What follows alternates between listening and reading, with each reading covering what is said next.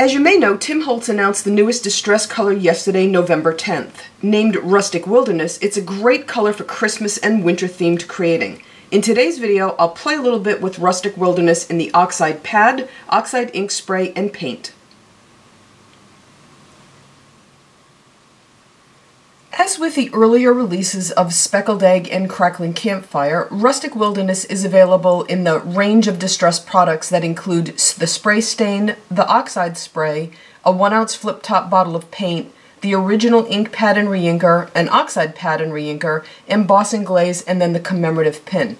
If you decide to buy now, you'll save 20% on each of those products as our everyday discount has temporarily been increased to 20% as part of our Veterans Day savings. And if you spend $50 or more on products other than gift certificates, we'll also discount your shipping. So you'll find links to all of that stuff down below. I'm going to start with the oxide spray because it really is my favorite of all of the distress products. It's the one I tend to reach for most, followed by um, the paint and then the oxide ink pad. And um, those are actually the three I'm going to work with today. So with that said, here are a couple of samples because I like to combine things. So here are a couple of samples. This is Rustic Wilderness that's been combined with Mermaid Lagoon. Really, really pretty. You can see the characteristic um, oxidization that comes with the oxide sprays. And this is the one I'm going to do for you now, which is Rustic Wilderness combined with Picked Raspberry and Squeezed Lemonade. The reason I want to show you this one is because if you are not careful and you allow the pink and the green to mix, you're going to get a muddy color.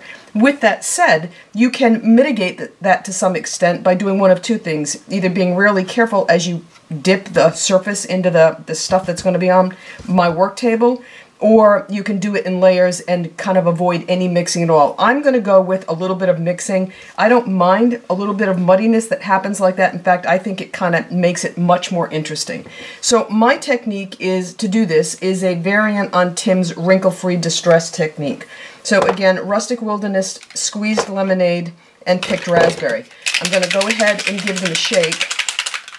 I'm going to put all three colors down. I'm going to overlap them a little bit, but I am not going to mix them to start with. That will happen as I start to apply the color to the surface.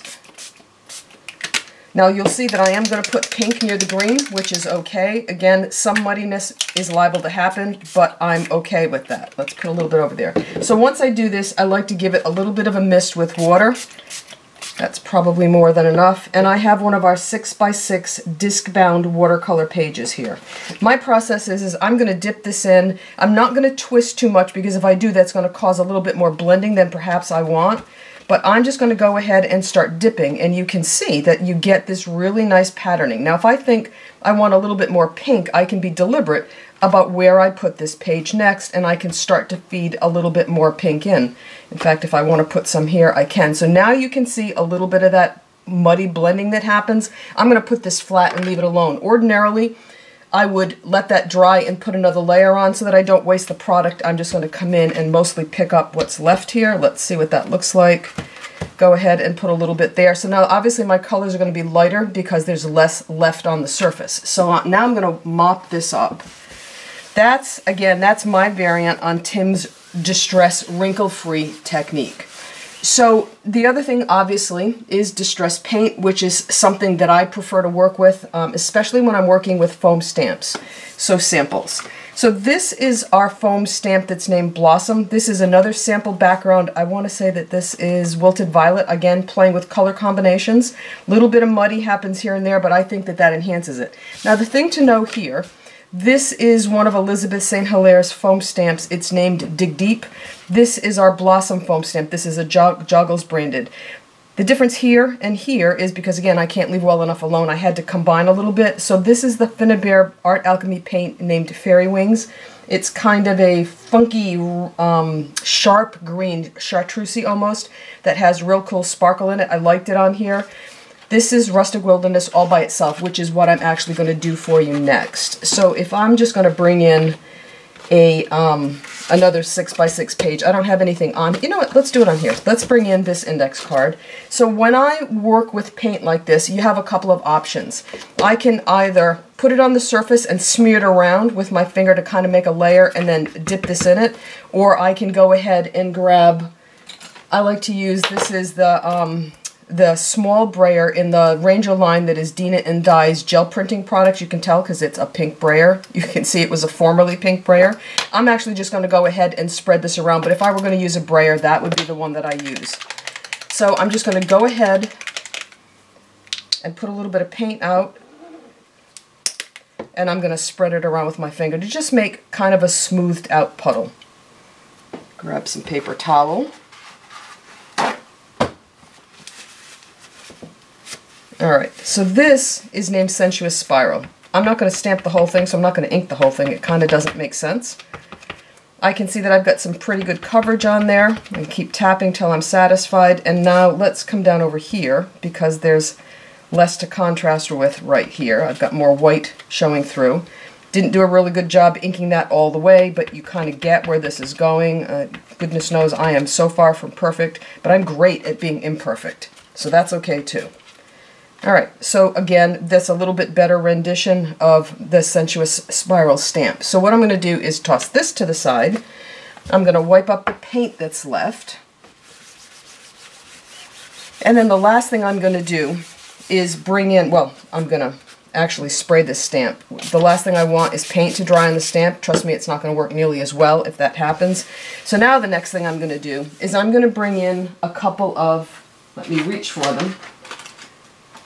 These are a couple of the stamps from the Art by Marlene stamp set that's named BM47 that's called mm, Exclusive Textures. I think that's the name of it. So if I pull this over here, this is the back of the package, and then obviously normally this would be the front of the package like this, so I just pulled out some. Now what I, what I need to do is step just for one second because the samples are not where they should be, so I'll be right back.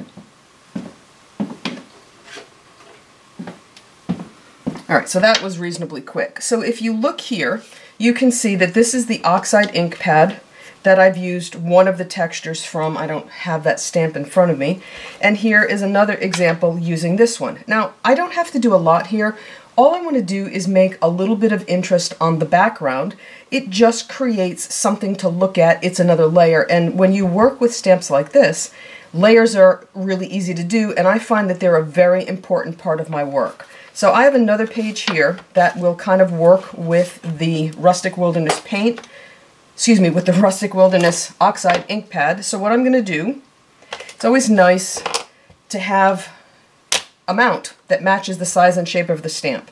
So with that said, this I think is one of our 2x2s. This one, if I grab a ruler, is in fact, this looks like it's also 2, it's 2 by 6 Alright, so what I'm going to do is I'm going to use the plus stamp because I've already used this long one.